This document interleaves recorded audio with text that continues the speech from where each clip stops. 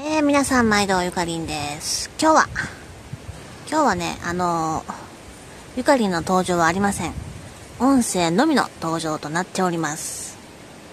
今日はゆかりの大好きな、ニュー川上下社に来てます。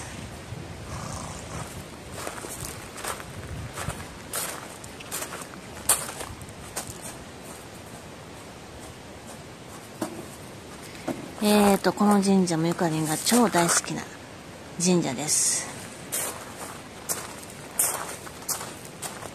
もちろんこの神社も瀬尾律姫が祀られています。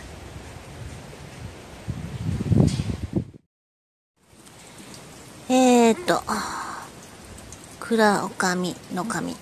えーと、これは、えー、瀬尾律姫です。いやー、下社はね、ほんとね、流血下社上社。ゆかりの超大好きな神社なんです。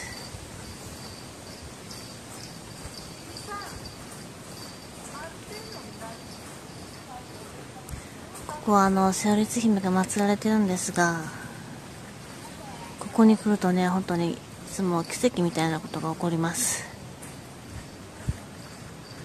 ちょっとね、口ではあの、伝えにくいんですが、本当に、何回もあの、助けられてます、それで。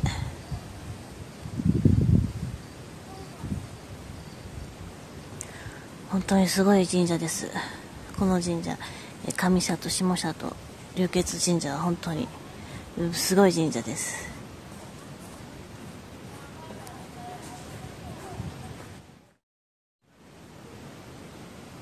いや、来ることができて本当よかった。本当に。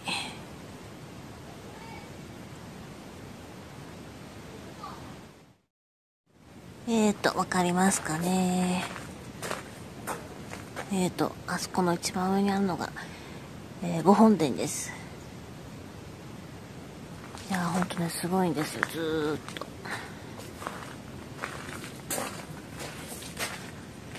もうめっちゃ長いんですよ、この階段が。ああ、わかりにくいかな。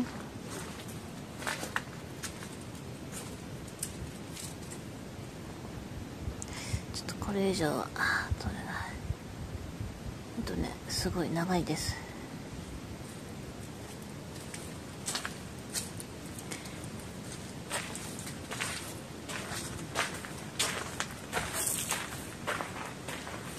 あそこが御本殿です。わかりますか？よいしょ。あ、わかりにくいかな？うん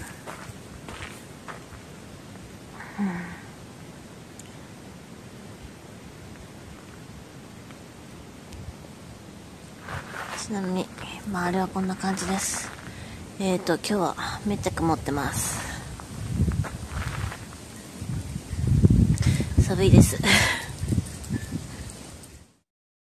えーと、今日のブレスは昨日作ったばっかりのブレスです。えーと、実はゆかりんは、えー、3つとも持ってます。えー、上社、中社、下社、3社とも回りました。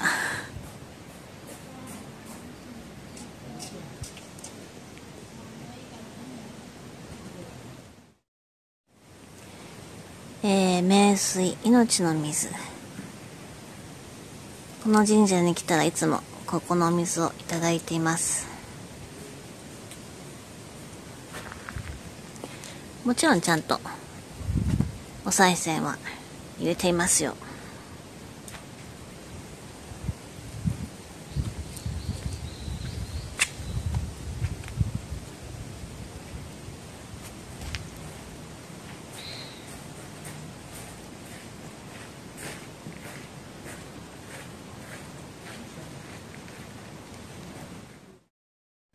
えーと、ご神木。あそこ、めっちゃ大きいんです、ご神木。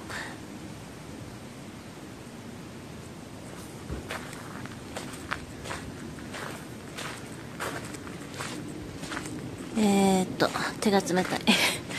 手が冷たいです。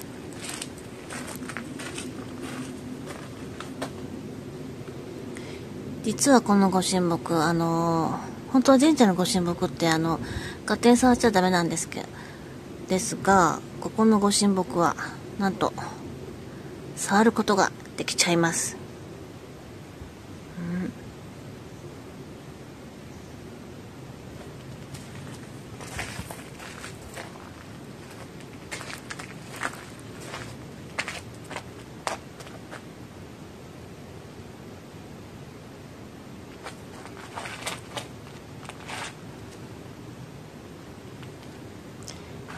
ー、ちなみに周りはこんな感じになってます。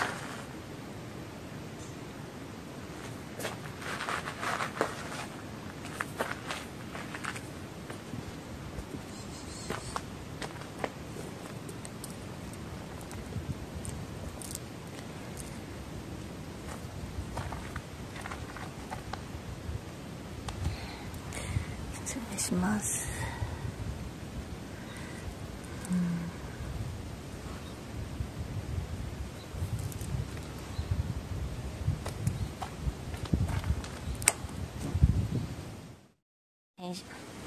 えっと、鶏ちゃんを発見しました。見えますかね？うん。鶏ちゃんがいてますよ。つついてますな。